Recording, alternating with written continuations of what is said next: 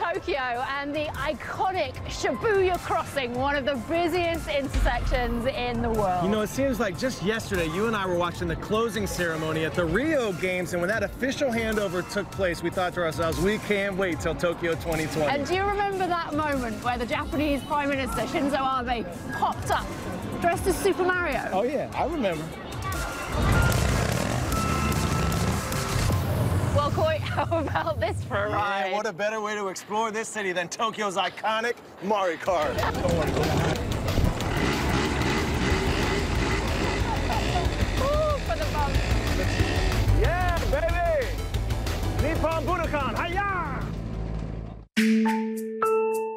The Olympics are just around the corner. Some of the venues are ready to go. Yep, this is the Nippon Budokan, most famous these days as a music venue where the likes of the Beatles and Bob Dylan have performed. And it translates to Japan Martial Arts Hall. That's what it was used for back in 1964, the first time Tokyo hosted the Summer Games. This time it'll be home to judo, and for the first time ever in the Olympics, karate.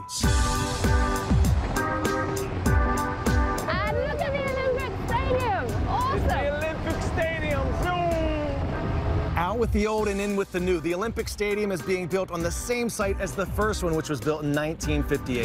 There have been some design changes because of rising costs, which mean construction has been delayed, but it's expected to be still done well ahead of time. This is where there'll be long jumping, high jumping, triple jumping, shot putting, pole vaulting, and the fastest men and women in the world will look to become the new Usain Bolt. Yeah, Tokyo 2020 will be the first Olympics since 2004. We won't see the Jamaican and the starting blocks. Goody, goody, goody!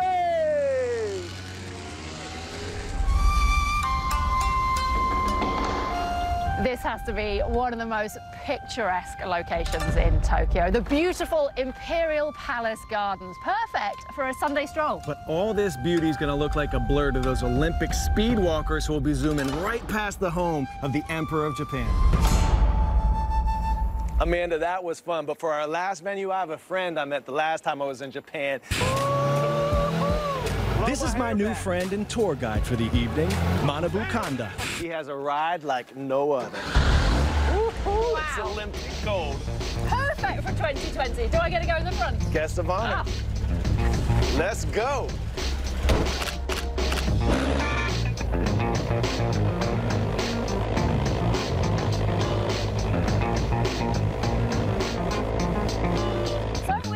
Here to the Odaiba waterfront, the last stop on our tour and set to play host to the marathon swimming and triathlon next year. We've certainly ridden in style on our tour of the venues, but come next year at Tokyo 2020, we're set to see driverless cars. Incredible. The future is here. In addition to karate, these games will feature new sports like climbing, surfing, and skateboarding. We'll also see the return of baseball and softball, too.